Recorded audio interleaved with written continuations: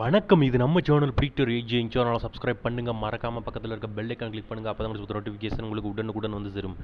IPL Indian premier லீக்ல எலிமினேட்டரில் நடக்க போகிற மேட்ச் ஆர்சிபி விசஸ் கேகேஆர் இந்த மேட்ச்க்கான ப்ரிடிக்ஷன் எப்படி போடலான்ற பற்றி நம்ம இப்போ பக்க போகிறோம் ஸ்டார்ட் ஆன் கேளுங்க கண்டிப்பாக யூஸ்ஃபுல்லாக இருக்கும். இந்த மேட்ச் நடக்க போகிற வென்யூ வந்து பார்த்தீங்கன்னா ஷார்ஜா கிரிக்கெட் எடுத்து நடக்க போகுது. இந்த சீசனை பொறுத்த வரைக்கும் இந்த யூஏ லெக்கில் ஷார்ஜா வெனியில் வந்து பார்த்திங்கன்னா அதிகமாக சக்ஸஸ்ஃபுல்லாக இருந்த டீம் அப்படின்ற மாதிரி வந்து பார்த்தீங்கன்னா அந்த ரெண்டு டீமே நம்ம சொல்லலாம்.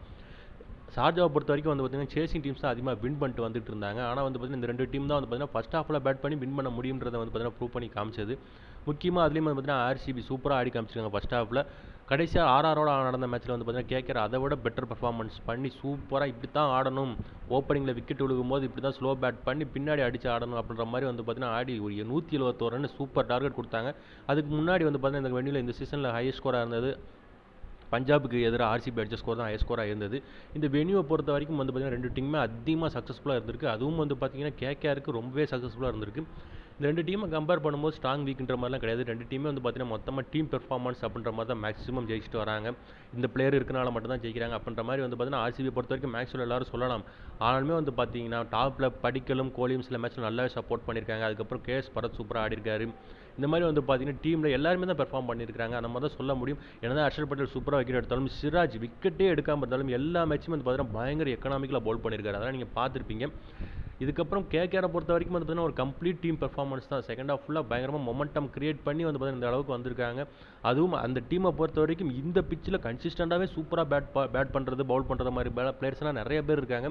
இந்த மேட்சை பொறுத்த வரைக்கும் கண்டிப்பாக சுவாரஸ்யமாக தான் இருக்கும். டாஸ் இந்த மேட்சை டிசைட் பண்ணும் அப்படின்ற மாதிரி சொல்லவே முடியாது. ஏன்னா இந்த வெனி வந்து பார்த்தீங்கன்னா கொஞ்சம் ட்ரிக்கி ரொம்ப ட்ரிக்கின்னு சொல்லலாம். ஏன்னா ரெண்டு டீமும் வந்து பார்த்தீங்கன்னா ரெண்டு பக்கம் சக்ஸஸ்ஃபுல்லாக பண்ணி பண்ணி காமிச்சிருக்காங்க. கேகேஆரை பொறுத்த வரைக்கும் டிசி ஆப்போசிட்டாக சேசிங் பண்ணி ஒரு மேட்ச் ஜெயிச்சாங்க. அதுக்கப்புறம் வந்து பார்த்தீங்கன்னா கடைசியாக ராஜஸ்தான் ஆப்போசிட்டாக வந்து பார்த்தீங்கன்னா செகண்ட் ஹாஃபில் பவுல் பண்ணி பயங்கரமான ஒரு வெற்றி எடுத்தாங்க.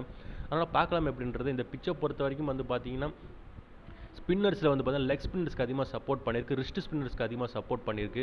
இந்த பிச்சை பொறுத்த வரைக்கும் வந்து பார்த்தீங்கன்னா பேட்டிங்கை பொறுத்த வரைக்கும் ஸ்டார்டிங்கில் இப்போதைக்கு இருக்கிற கண்டிஷனை பொறுத்த வரைக்கும் வந்து பார்த்தீங்கன்னா கொஞ்சம் ஸ்லோ பேட் பண்ணி பின்னாடி எப்படி கேகேஆர் புஷ் பண்ணாங்களோ அந்த மாதிரி அடிச்சானா வந்து பார்த்தீங்கன்னா எப்பயும் போல ஒரு நல்ல ஸ்கோர் கொடுக்க முடியும். ஏன்னா லாஸ்ட் சீசனில் இந்த பிச்சு வேறு மாதிரி இருந்தது இப்போ வந்து பார்த்தீங்கன்னா வேறு மாதிரி இருக்குது பவுலர்ஸ்க்கு அதிகமாக சப்போர்ட் பண்ணிட்டு வருது அதுவும் ஸ்பின் பவுலர்ஸ்க்கு அதிகமாக சப்போர்ட் பண்ணிட்டு இருக்குது அதையும் நீங்கள் பார்த்துக்கணும் உங்களுடைய டீமை பொறுத்த வரைக்கும் வந்து பார்த்தீங்கன்னா ரெண்டு டீமையும் ஃபுல்லாக அனலைஸ் பண்ணி டீம் போடணும். இந்த பர்டிகுலர் வெளியில் யார் யார் நல்லா ஆடி இருக்கா ஹெட் டு ஹெட்டில் யார் யார் நல்லா ஆடி இருக்கா அப்படின்றது பார்க்கணும்.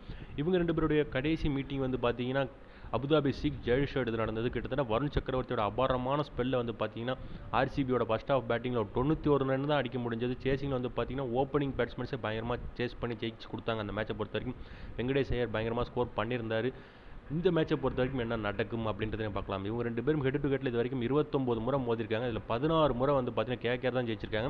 ஒரு பதிமூணு முறை வந்து பார்த்தீங்கன்னா ஆர்சிபி ஜெயிச்சிருக்காங்க. ஆனால் கடைசி அஞ்சு மேட்ச் ரிசல்ட் எடுத்து பார்த்தீங்கன்னா வந்து பார்த்தீங்கன்னா கேகேஆரை விட ஆர்சிபி தான் வந்து பார்த்தீங்கன்னா அதிகமாக ஜெயிச்சிருக்காங்க. நாலு மேட்ச் ஆர்சிபி ஜெயிச்சிருக்காங்க. ஒரே ஒரு மேட்ச் தான் வந்து பார்த்தீங்கன்னா கேகேஆர் ஜெயிச்சிருக்காங்க.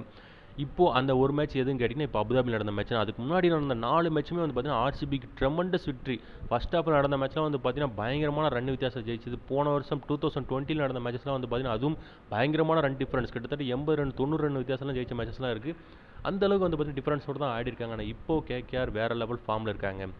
இந்த மேட்சை பொறுத்த வரைக்கும் என்ன நடக்கும் அப்படின்ற பார்க்கணும். ஹெட் டு ஹெட் பொறுத்த வரைக்கும் வந்து பார்த்தீங்கன்னா மேக்ஸிமம் பவுலிங்கில் சூப்பராக போட்டிருக்க பிளேயர் அப்படின்ற மாதிரினா சகல் நல்லா போட்டிருக்காரு அதுக்கப்புறம் வந்து பார்த்தீங்கன்னா சிராஜ் மேக்ஸிமம் எக்கனாமிக்கில் சூப்பராக பவுல் ஸ்பெல் பண்ணியிருக்காரு பாஸ் பவுலர்ஸை பொறுத்த வரைக்கும் கேகேஆர் சைடில் வந்து பார்த்தீங்கன்னா மாவி நல்லா போட்டிருக்காரு. ஃபெர்குஷனை பொறுத்த வரைக்கும் அவருக்கு கம்யூனிஸ்ட்க்கு ஆப்போசிட்டாக தான் வச்சுருந்தாங்க. கம்யூனிஸ்ட்க்கு பேக்கப்பாக தான் வச்சுருந்தாங்க. ஆனால் அந்தளவுக்கு யூஸ் பண்ணல. ஆனால் இந்த வெனியூ வந்து பார்த்தீங்கன்னா ஃபெர்குஷனோட டாப் வெனியூங்க அவரோட பெர்ஃபார்மன்ஸ் இந்த மூணு பிச்சிலே இந்த பிச்சில் தான் வந்து பார்த்தீங்கன்னா ஹையாக இருந்திருக்கு. எப்பயுமே வந்து பார்த்தீங்கன்னா அவரோட சப்போர்ட் பண்ணி மாவி நல்லா போட்டிருக்கிறாரு. லாஸ்ட் மேட்சை வச்சு நான் சொல்லலை இது வரைக்கும் அவங்க ஆட மேட்ச் எல்லாத்தையும் வச்சு தான் சொல்லிட்டு இருக்கேன். சக்கரவர்த்தியை பொறுத்த வரைக்கும் அபுதாபியில் இதே ஆர்சிபி டீமுக்கு எதிராக சூப்பராக போட்டிருந்தார் மேக்ஸிலோட விக்கெட்லாம் எர்லியராக விழுந்தது. அது காரணம் சக்கரவர்த்தி தான். ஆனால் இந்த வெனியை பொறுத்த வரைக்கும் சக்கரவர்த்தி எக்கனாமிக்கலாக தான் போட முடிஞ்சிருக்கு. டாப் பவுலிங் போட முடியல.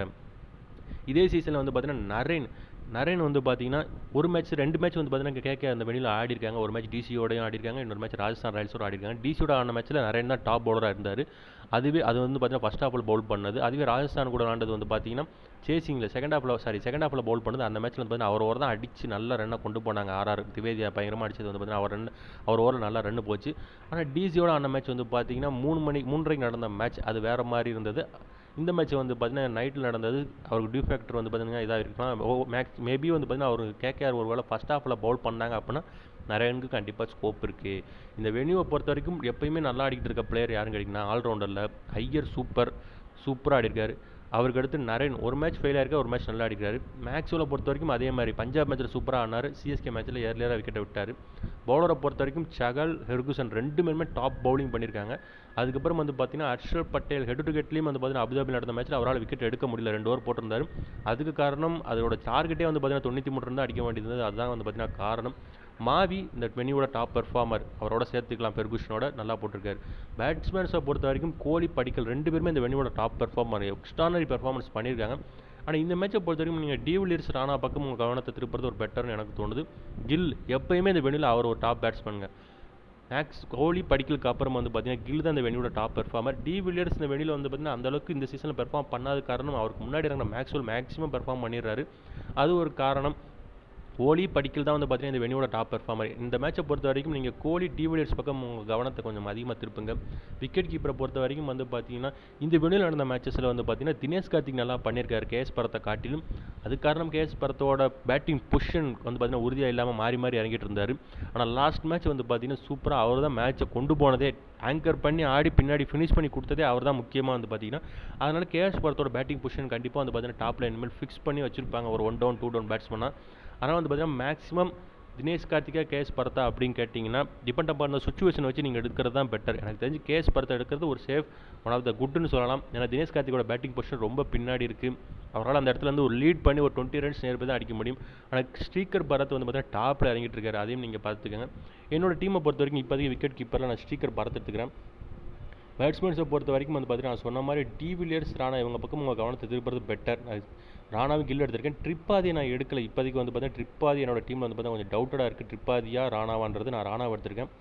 இங்கே வந்து பார்த்தீங்கன்னா ஐயரும் கண்டிப்பாக என் டீமில் இருக்கார். இதில் ஷாஹி பல்கஷன் பதிலாக அந்த மேட்ச் ரசல் வந்துருவாரா அப்படின்ற மாதிரி உங்களுக்கு டவுட்ஸ் வரலாம். மேக்ஸிமம் இருக்கிறதுக்கான வாய்ப்புகள் கம்மின்னு தான் நான் நினைக்கிறேன். ஏன்னா வந்து பார்த்தீங்கன்னா ஷாஹி பல்கஷன் தான் வந்து பார்த்தீங்கன்னா கடைசி ரெண்டு மேட்சை மொமெட்டமே திருப்பியிருக்காரு. அவர் என்ன தான் ஒரு விக்கெட் இருந்தாலும் நல்ல எக்கனாமிக்கலாக பால் பண்ணி விக்கெட்டை முதல்ல எடுத்து கொடுக்குறது அவர் தான்ற மாதிரி ஆடிட்டு இருக்காரு. ஆனால் ஷாஹி பல்கஷன் மேக்ஸிமம் ட்ரை பண்ணி பார்க்குறது ஒரு பெட்டர் ஆப்ஷன் இருந்தால் அதுக்கப்புறம் வந்து பார்த்தீங்கன்னா மேக்ஸ்வெல்லை பொறுத்த வரைக்கும் உங்களுடைய டீமில் வந்து பார்த்தீங்கன்னா சேஃபாக போடணும்னு நினச்சிங்கன்னா கண்டிப்பாக சூஸ் பண்ணிக்கிறது தான் பெட்டர் இல்லை நான் ஜிஎல் போகிறேன் நான் ரிஸ்க்காக எடுத்தாலும் பரவாயில்ல அப்படின்னு நினச்சிங்கன்னா என்ன பண்ணலாம் அப்படின்றத டிபெண்ட் அப்பான் அந்த டாஸ் வச்சு சாரி டாஸ் வச்சு நம்ம டீமை டிசைட் பண்ணிக்கலாம். பதினெட்டு டீம் ட்ராகர் வரும்போது இங்கே வந்து பார்த்தீங்கன்னா பெர்குஷன் சகால் சூஸ் பண்ணிக்கலாம். சகாலை பொறுத்த வரைக்கும் மேக்ஸிமம் செகண்ட் ஹாஃபில் பவுல் பண்ணும்போது அதிக சக்ஸஸ்ஃபுல்லாக இருந்திருக்காரு. ஃபஸ்ட் ஹாஃபை பொறுத்த வரைக்கும் ஒரு விக்கெட் அப்படின்ற மாதிரி தான் மேக்ஸிமம் விழுந்திருக்கு இந்த வெனியில் ஆனால் செகண்ட் ஹாஃபில் மூணு விக்கெட் மேலேயே எடுத்திருக்காரு அதிகபட்சம்.